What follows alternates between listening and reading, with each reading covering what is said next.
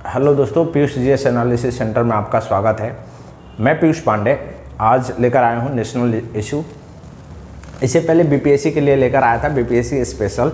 ये भी BPSC special ही है, वो बिहार का इशू था, ये नेशनल इशू है। देखिए, ये पहला question. The Vayu, the vital life of force. देखिए, ये क्या है? भुवनेश्वर में इसका कॉन्फ्रेंस हुआ था, और ये क्या है? जो नेशनल क्लीन एयर प्रोग्राम है बहुत सारे शहर पॉल्यूशन हो रहे हैं, गंदा हो रहे हैं तो उसको क्या है ना गवर्नमेंट ने एक प्लान बनाया था नेशनल क्लीन एयर प्रोग्राम तो गवर्नमेंट को क्या अचीव करना है, कैसे टारगेट को अचीव करना है, ये जो है मल्टी डाइमेंशनल एफर्ट जो लगेंगे तो उसके लिए युवा द वाइटल लाइफ फोर्स कहा गया है भाई।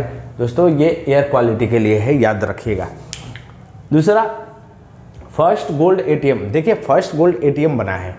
आप डेबिट और क्रेडिट कार्ड ले जाइए, वहाँ से आप गोल्ड निकाल सकते हैं। पहली बार हैदराबाद में, और इसका नाम है गोल्ड सिका एटीएम। देखिए, इसका नाम है गोल्ड सिका एटीएम। ये पहली बार बना है।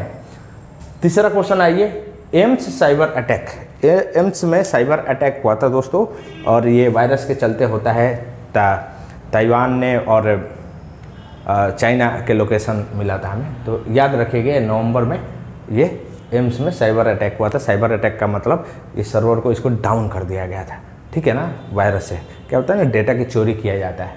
ठीक है? मोंकी पॉक्स देखिए मोंकी पॉक्स जो होता है, उसको नाम, उसका नाम चेंज किया गया है। International committee of taxonomy of virus ने क्या किया है? इसका नाम चेंज किया है। ये संस्था है जो काम करती है नाम को चेंज करने में और वायरस के बारे में उसका रिसर्च करना उसके अलग अलग क्या क्या उसके लक्षण हो सकते हैं। एम्पॉक्स जो है ना एम्पॉक्स उसका नाम रखा गया है। ठीक है अब आइए एक नया न्यूक्लियर पावर प्लांट कहाँ? ककरापुर गुजरात में अभी एक नया न्यूक्लियर पावर प्लांट आ, डाला गया है दोस्तों। ठीक है बनिहाल कटरा रेलवे है ना वो भारत की सबसे longest escape tunnel escape tunnel मतलब वहाँ से ट्रेनें जो गुजर के जाती है, सबसे लंबा जो है ना, वो है कौन सा है? Banihal Katra railway line. ठीक है? Kalyani, F E R R Rizta देखिए, ये है क्या? फ़र्स्ट ग्रीन स्टील ब्रांड है। फ़र्स्ट ग्रीन स्टील ब्रांड का मतलब होता है, दोस्तों, जो स्टील बनाने में जो फोसिल का यूज़ होता है कोयला जैसे अदर चीज़ें जिसका रिन्यूएबल नहीं होता तो क्या है ना कि ये ग्रीन नहीं होता स्टील तो भारत ने लॉन्च किया है कल्याणी ग्रुप ने। फ़र्स्ट ग्रीन स्टील ब्रांड जिसका नाम नाम है एफ़ ई आर आर एस्टा ठीक है? अब देखिए शुगर भारत जो है ना दोस्तों, वो सबसे ज़्यादा चीनी का प्रोड्यूस करता है और सबसे ज़्यादा कंज्यूम भी करता है और एक्सपोर्ट भी करता है। तो शुगर जो है ना largest producer and exporter of sugar और सबसे ज़्यादा भारत में कौन से स्टेट है, वो है महाराष्ट्र, फिर यूपी और कर्नाटका है, याद रखिएगा। इंटरनेशनल ईयर ऑफ़ मिलेट 2000 ये 2023 जो है ना, वो इंटरनेशनल ईयर ऑफ़ मिलेट है और ये किस संस्थान ने है ऑर्गेनाइज करता है ये फ़ूड एंड एग्रीकल्चर ऑर्गेनाइजेशन जो ऑर्गेनाइजेशन है ना, ये भारत का इनिशिएटिव था। भारत ने कहा था 2023 को मिलेट का क्या किया जाए? इंटरनेशनल ईयर माना जाए। देखिए, ये पेट्राइट मिसाइल सिस्टम है। अभी यूक्रेन के राष्ट्रपति गए थे यूएसए और उन्होंने यूएसए ने मतलब अमेरिका ने वादा किया है ये पेट्राइट मिसाइल सिस्टम देने के लिए। और ये surface to air guided missile system है दोस्तों। ये यूक्रेन को कौन देगा? यूएसए देगा। गूगल पे फाइन हुआ है 936 करोड़ का। दोस्तों, इसका कारण क्या है कि जो कंपटीशन एक्ट है भारत में 2002 इसका मतलब क्या होती है कि कंपटीशन है, बरकरार रखना चाहिए। मतलब जैसे ऐसा नहीं होना चाहिए कि एक जो है कंपटीटर दूसरे कंपटीटर को खा के और मोनोपोली क्रिएट कर रहा है मतलब खुद ही बिज़नेस करने के चक्कर में है। सीधा सीधा सा मतलब है। तो उसके अगेंस्ट में इन्होंने काम किया होगा, जिसके चलते 936 करोड़ की पेनल्टी पड़ी थी। फिर देखिए नॉर्थ इंडिया का फ़र्स्ट डेटा सेंटर जो है दोस्तों, वो ग्रेटर नोएडा में बनेगा। नॉर्थ इंडिया जो है, उसका पहला डेटा सेंटर और डेटा सेंटर होता क्या है दोस्तों? देखिए, इसमें ना डेटा स्टोर किया जाता है। देखिए, ये होता है जैसे सर्वर सर्वर जानते होंगे सर्वर पूरी की पूरी इंस्टॉल होती है, वहाँ पर उसकी बैकअप होती है बैकअप की प्रोसेस होती है डेटा की नेटवर्किंग की प्रोसेस होती है। तो वहाँ पे क्या होता है ना डेटा को स्टोर किया जाता है, वो होती है नॉर्थ इंडिया का फ़र्स्ट डेटा सेंटर कहाँ है? ग्रेटर नोएडा में। इंटीग्रेटेड एक्वा पार्क एक्वा का मतलब होता है पानी। दोस्तों, और ये अरुणाचल प्रदेश में क्या होगा ये? ये बन रहा है एक्वा पार्क मतलब वाटर पार्क, ठीक है? दोस्तों, अब देखिए आगे। ब्लू फ्लैग टैग, देखिए ये ब्लू फ्लैग टैग होता है जो बीचेज के लिए, जो बीच जो है ना, वो पूरा प्लास्टिक व्लास्टिक हट जाए, साफ़ सुथरा बीचेज के लिए दिया जाता है। इसमें लक्षद्वीप के दो बीचेज को मिला है। Blue flag tag international tag है दोस्तों, जो कि बीच के लिए बीच मतलब जो समुद्र के किनारे होता है ना बीच इसके लिए।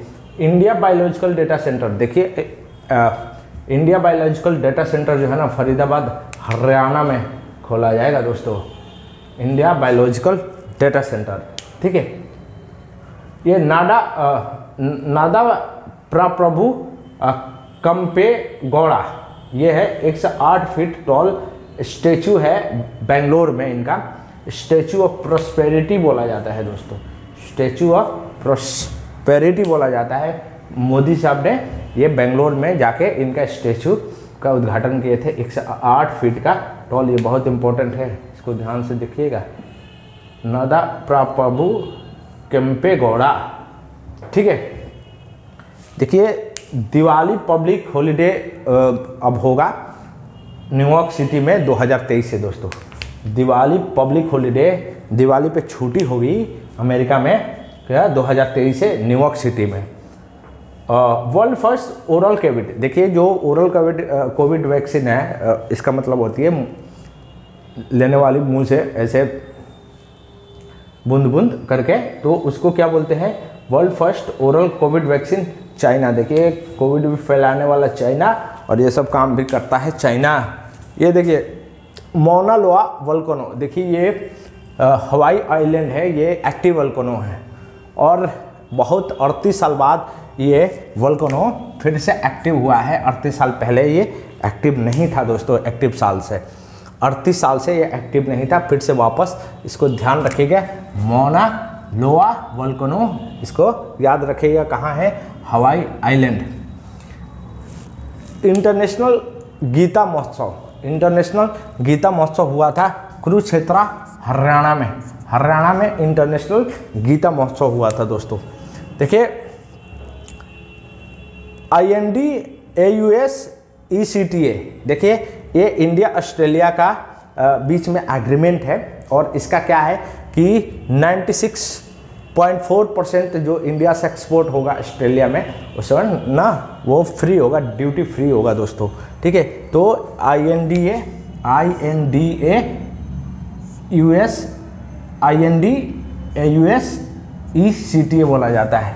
फ्री इस तरीके से एग्रीमेंट है इंडिया और ऑस्ट्रेलिया के बीच में। डिजिटल शक्ति 4.0 कंपेन ये देखिए डिजिटल शक्ति 4.0 कंपेन ये किस लिए होती है?